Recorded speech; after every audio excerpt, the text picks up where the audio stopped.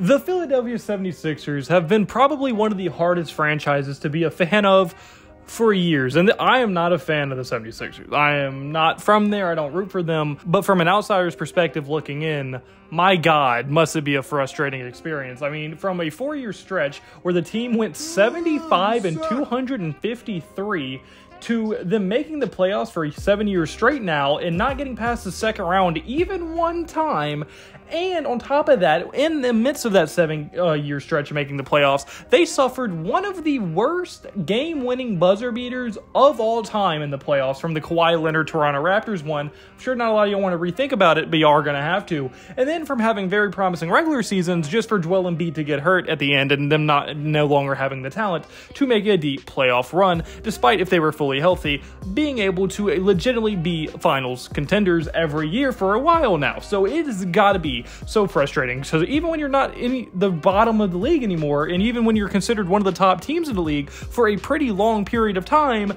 it just seems like something has to go wrong. They can't get it right. It's just got to be so disappointing and so disheartening to be a Philadelphia 76ers fan at least a lot of the time. But in this video, I'm going to be saying why I personally think that right now is going to be one of their best opportunities they've had in a very, very long time to actually become an elite team and legit get over the hump, finally make it to the finals, and maybe even win it. And if it, they don't do it now, I'm not sure they're ever going to do it with this core of a team they have together because I think this is by far their best opportunity and really only one major obstacle stands in front of them that I'm to be getting to a little bit later on in this video. So first things first, let's really just break down what this roster is going to look like going into next season and why I am so high on it. The biggest reason is because for the first time in a very long time, I think they have a legit big three. Now, yes, don't get me wrong, they've had Embiid, Maxey, Harden, uh, they've had different variations of big threes in the past, but I think right now, with how this team is currently constructed,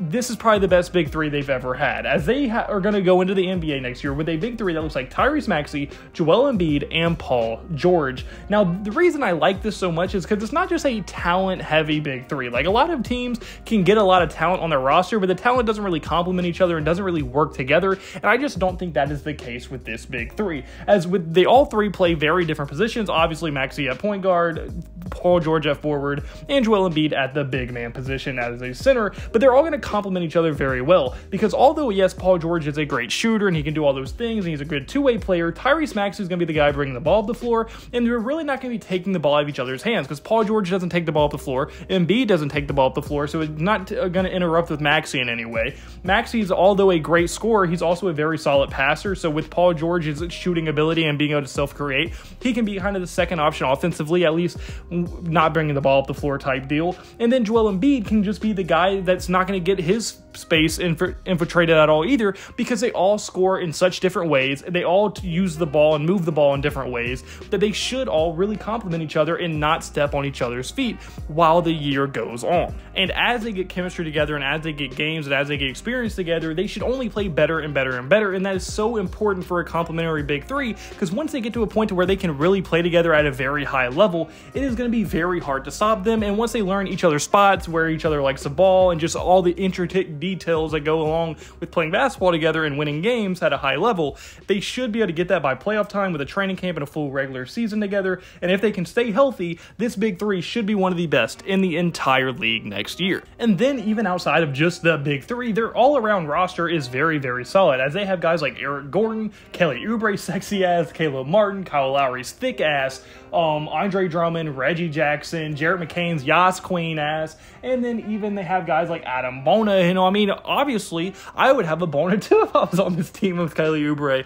Uh, that was retarded. I'm sorry. That was the worst joke ever. But oh, with all jokes aside, this supporting cast is extremely solid. Eric Gordon has been on a plethora of good high level teams. He knows how to be complimentary to people. Kelly Oubre is just a very solid player. Caleb Martin has been very solid. He knows how to win. He was with Miami in those very successful years, so he knows how to play winning basketball. Kyle Lowry is a great veteran to have. He's been on championship winning teams, he's been on very high level teams, and he's just all around, although far from the old Kyle Lowry of old, he's still a very solid, just nice veteran to have. Uh, Andre Drummond has been on a lot of teams. He's a veteran at this point. He's going to grab rebounds. He knows his role.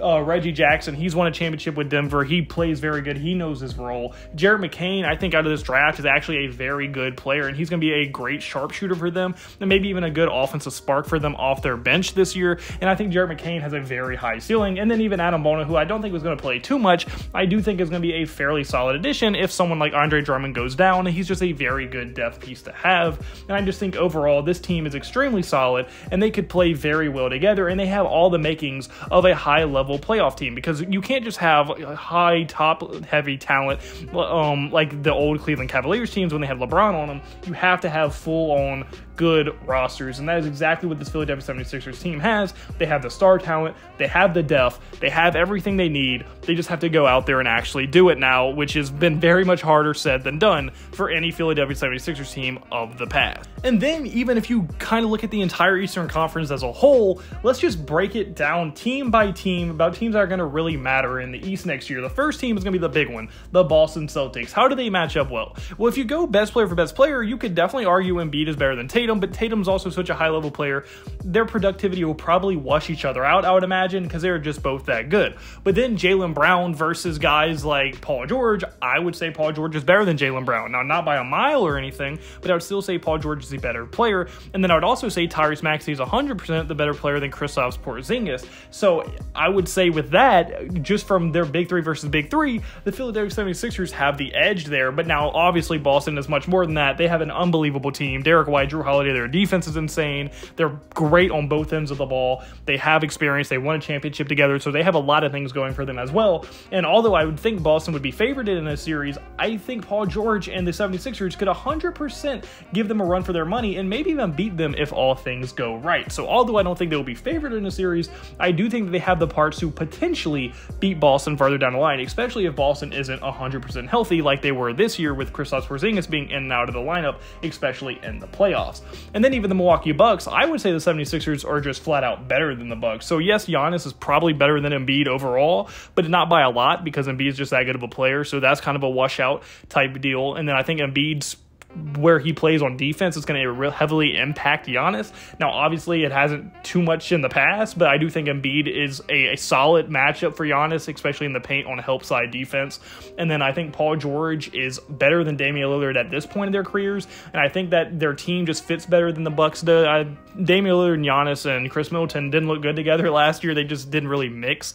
Um, I think the Philadelphia 76ers are going to mix very well. I think they're more talented than them, and I think they're deeper as well. And I just think overall that the 76ers should be favored in a series with the Milwaukee Bucks. And then even the new kind of new guys on the block in the New York Knicks, who are officially like a lot of people are putting them in a finals contending category. Now, although I am lower on the Knicks than many teams, I still acknowledge they're going to be a very good team next year. And I would still have the 76ers above them in a series because now that, like, band for band, Embiid is 100% better than Jalen Brunson. Um, Julius Randle is 100% worse than Paul George, and Tyrese Maxey is 100% better than OG Anunoby or Mikal Bridges, whichever one you want to say is their third best player. So I would 100% say the 76ers are probably going to be favored over everybody in the East, especially all the great teams in the East, eh, besides the Boston Celtics. Because even the Cleveland Cavaliers, who might be the next best team next year, although I like Cleveland, I like them a lot, I do think that the Philadelphia 76ers just have so much talent. They have more of the upper echelon talent on their roster than Cavs do.